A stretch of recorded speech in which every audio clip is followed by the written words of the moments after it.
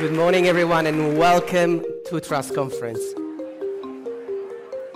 Free and independent media holds governments and business to account and empowers citizens to make better decisions for themselves and for their communities. Напрямую отсутствие независимых от государства медиа с, не, с этим связаны и те репрессии, которые происходят в отношении читателей этих медиа. The Kurt Schork Awards stand for everything that is good and right about journalism. I mean, the, one, the great thing about this award is that it brings not only financial support to us, but also sort of raises the awareness to stories that might otherwise fall into a void of social media or um, government control. It is our duty to convey the truth. And there is an undeniable truth here in the photos taken by my colleagues and myself, and this is the toll of war.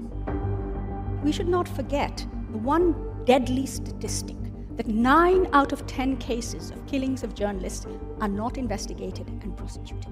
I also would like all of us to remember that people in Iran at the moment, they are risking their lives to go to the streets and fight for their freedom. Women, life, freedom. Thank you very much. What we're seeing is that if you don't have these very concrete ways of ensuring the rule of law, human rights, human dignity, fairness, inclusiveness might be at risk. If you are using a blockchain based system, this is going to make it impossible for companies to lie about what they've done with data. And it's also going to make it impossible for anyone to take your data unless you've consented to it. Welcome to the second day here at Trust Conference. The climate crisis is not robbing them of their futures, it is robbing them of their present. There are so many communities that are impacted by climate change, but they don't know it. Or they don't have the time to talk about it because they're more concerned about having to think about their day to day life.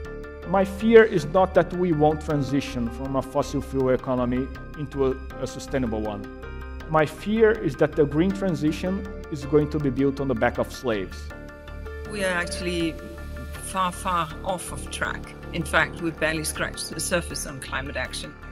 As investors, we're widening our breadth to not only look at the profits and revenue a company's generating, but the experience of all the users around that particular company. How many women have completely disappeared from the labor force?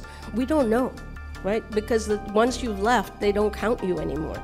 There have been 62 new billionaires created in the pandemic era who've made their money from food or energy just at a time when the, the vast majority of people on the planet are grappling with rising food and energy prices. So this is a real problem. It's out of control, and my fear is we're sleepwalking into a, an inequality crisis. This level of inequality, I think we'll look back on it with almost the same abhorrence we apply to looking back at slavery. A sense that how on earth could we have indulged such an in unjust social system that allowed this degree of inequality